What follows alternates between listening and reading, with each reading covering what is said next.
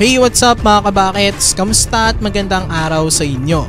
Arvin Tolentino tinanghal bilang Best Player of the Week at Jay Crowder itetrade na ng Phoenix Suns.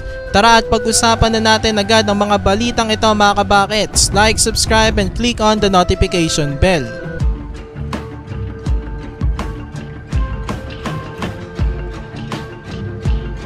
So after ngang matrade ng Inebra, Arvin Tolentino gumawa agad ng ingay sa kanyang bagong team na Northport Batang Pier. Siya nga ang ikaunang player of the week ngayong Commissioner's Cup mga kabakets. Well deserved naman niya yan after nga niyang mag-average ng 19 points per game.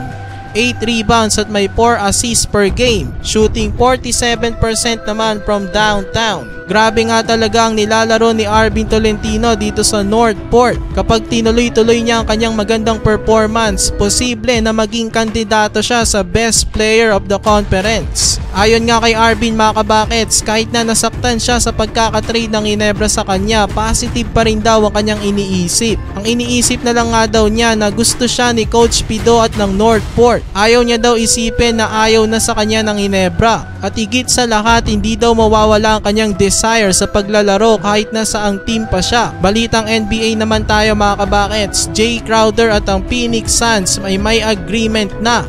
Hindi na daw a-attend itong si Jay Crowder sa training camp ng team. Dahil itetrade na daw siya ng Suns bago magsimula ang season. Ang pinaka-preparable na team naman ni Jay Crowder kung sakaling matrade na siya ng Suns ay ang kanyang dating team na Miami Heat. Paniguradong maraming teams ang magkaka-interest dito kay Crowder dahil magaling naman na role player ito at may experience na. Dalawang beses na nga itong nakapasok sa NBA Finals as one of the key contributor ng team. So hindi siguro mahihirapan ng Suns makahanap ng ka-trade partner para dito kay Jay Crowder. Dito na lang magtatapos ang ating video. Maraming salamat ulit sa inyong panonood. Please like, share, and subscribe.